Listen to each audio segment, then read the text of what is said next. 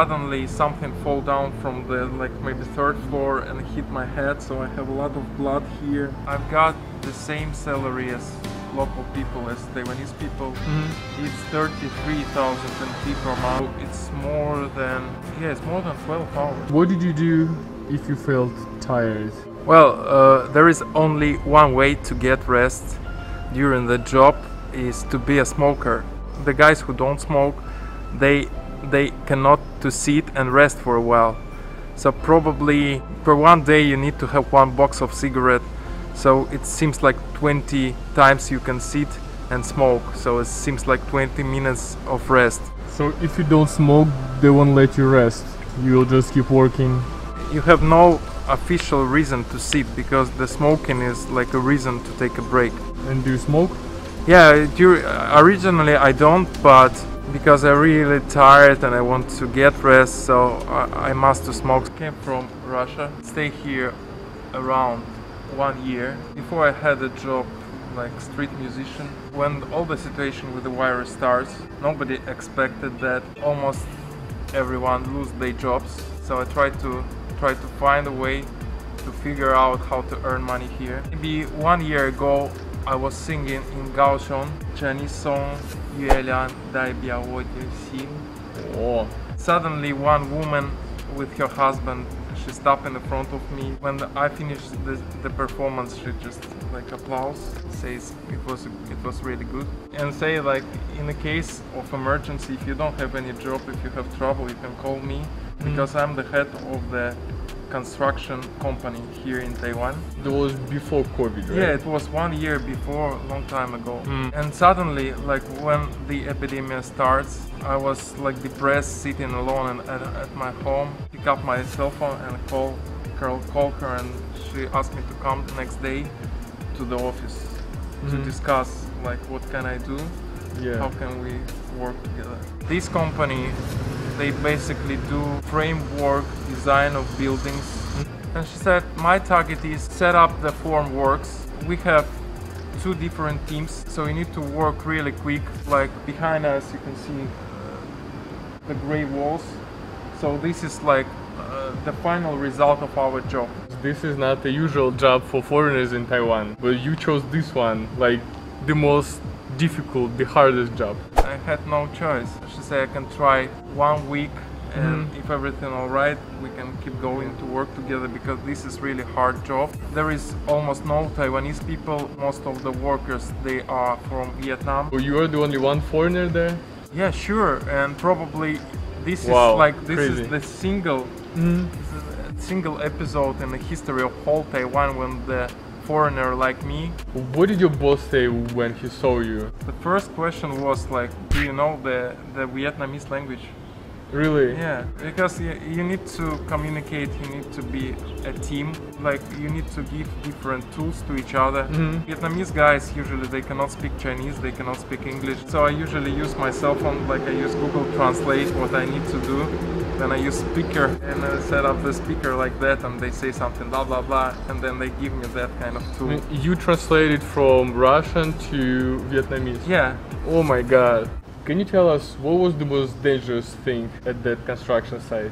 Well, this kind of area probably the most dangerous place I ever been in my life. Really?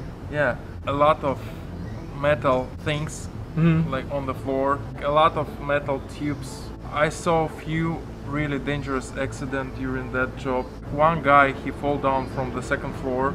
Something happened with his leg. Mhm. Then ambulance come and uh, may probably he break his leg because he even cannot move.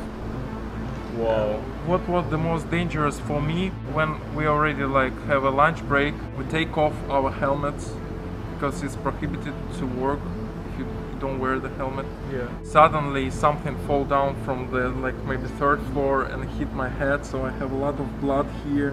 Whoa. Now everything recover. So that's really dangerous place Oh my to god. be. You almost died there. Yeah, I had a lot of blood. It was so fast, so I thought maybe something happened with my brain. 大家，我们现在可以做一个实验，some test, right? Yeah, that's that's a test about the protection shoes. You must wear the helmet firstly, which I don't have today because Yeah. because I already quit. So, and the second one is the special protection shoes. If somebody really heavy fall down, it shouldn't smash your bones. Okay, now we'll show you how it works. Let's go.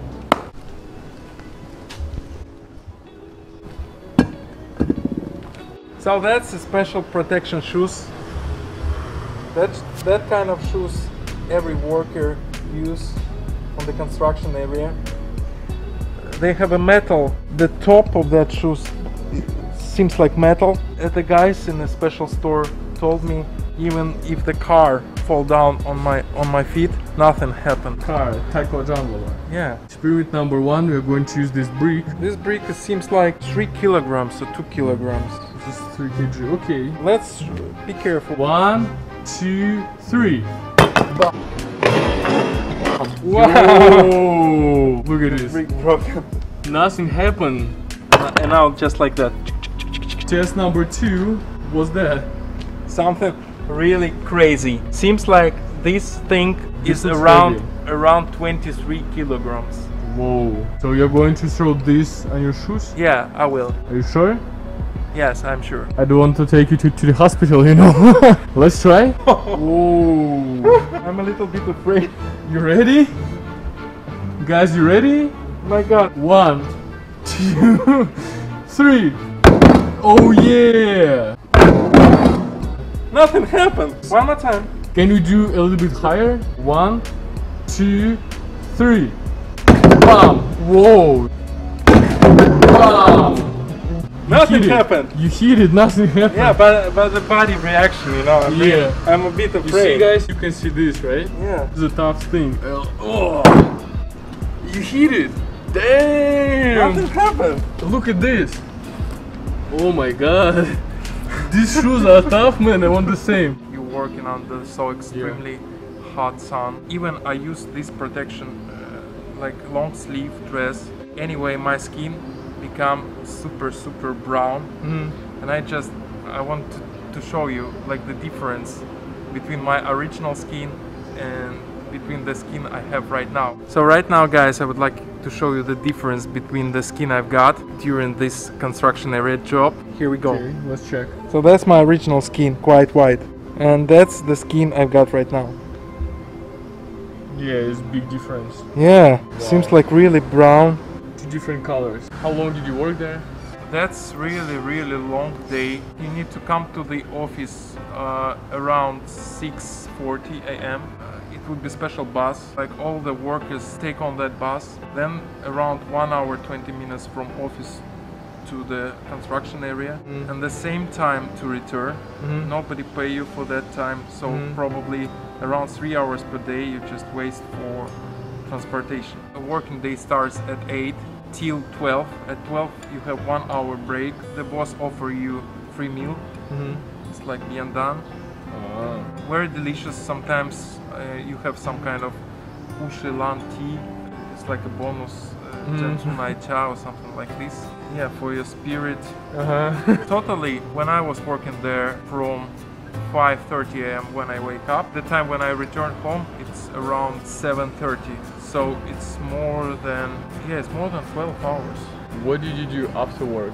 After work, you know, you have you have no power to do something. You just lie down on your bed mm. like sofa, probably drink one or two beers to relax, and then fall asleep. And then next day the same, the same. I imagine you are just exhausted, extremely tired Yeah, after this that's whole right. working day. You cannot do anything. The next thing we are going to show you is what we're you going to show them?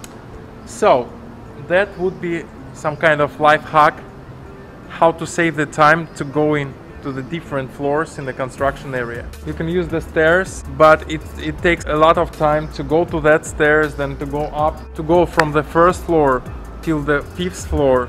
It takes maybe five minutes, but everyone care about the time because time is money. And some people they do some kind of dangerous way to go to the top. And I would like to show you, like we have a lot of metal things like that in the construction mm. area. You're going to show this way, right? Yeah. For example, we are on the first floor. I'm here. This is the ground floor. Mm-hmm. Let's go. This is the first floor. Then you go to the the third floor. Wow. This is tough. Yeah, till the fifth floor. It's not so hard, by the way, because on the construction area is not so high. It's especially easy for Vietnamese people because they are not tall, so they can run through that through that tunnel super fast. Uh-huh. But for me, like if I want to go through that tunnel, I cannot run. I just go like that. Uh, you need to So my down. back super painful, like old grandfather. So if you need to carry some heavy things, so like you can go the same way. No, not exactly. If you need to carry something really heavy, for example, one worker on the first floor, another on the second, the mm-hmm. 3rd one on the third, and Yeah. you pick, pick up that heavy things and give to one guy, and the one guy give to another one, and it's like that. You have to be really strong to do this kind of job because it is not easy, you know, to climb, to carry all this, you know, heavy stuff. There is one plus of that job. It makes your body really, really strong and powerful. You will feel that maybe in like two days how stronger you become. What was your salary? How much money you can earn working in the construction site as foreign? I've got the same salary as local people, as Taiwanese people. Mm-hmm. It's 33,000 NT per month. Then, if you keep going to work, it's plus 1,000 until your salary would be 45,000. I don't know how about Vietnamese people, how much money do they get, mm-hmm. but all the guys who work there, they really hard workers. Everyone has family. Uh, they have a lot of kids, so they really depends on on that job. They work bad, they cannot feed their families in Vietnam. Were there any Taiwanese people there? It was maybe two or three Taiwanese, but they seems like manager there. They control Vietnamese and 但是你们可以帮我留言一下，为什么台湾人没有在 construction sites 工作？ Э, why did you decide to quit this job? The main reason why I quit that job because I started to have a problem with my skin. Work under that extremely sun is super dangerous for the white skin which I have. If the doctor says to me if I keep going to work like that I can have the cancer of the skin really quick. Yeah, you may get some skin cancer. Right now I would like to show you how the workers rest. We have one hour this is lunch break, probably takes 15 minutes to take a food and then everyone like to take a nap. So we usually just lie down on the ground like that, use some kind of stone like a pillow and rest like that for 45 minutes. One As I said, all of my colleagues they are Vietnamese, so uh, the communication is really tough. And because I don't understand them, uh, sometimes they become angry on me because they think I'm stupid. They try to sell, tell me something in Vietnamese language, but for, for sure I don't understand that. It was like few accident when the guy, one of the guys, he extremely become angry, start to scream on me something like, feel like where I am, what the fuck is going on? So that was a really uncomfortable situation. So I just I, I just go far away from that guy because he's out of his mind. Some people uh, during the job they they drink in alcohol, but that's probably uh, every construction area in the world. One of the most famous alcohol is for sure is Taiwan beer, and also they have some kind of uh, 10% energetic alcohol they mix with lemonade, so that's quite local drink. It's very sweet and seems like it keeps your body the body condition better. How did your managers treat you there? well this is asia asian mentality. The manager never tell you something in person. The manager just take a look how the workers do their job. When the day is over he give the mark to everyone and probably tell the boss like that guy is good today that one is bad. What are you doing?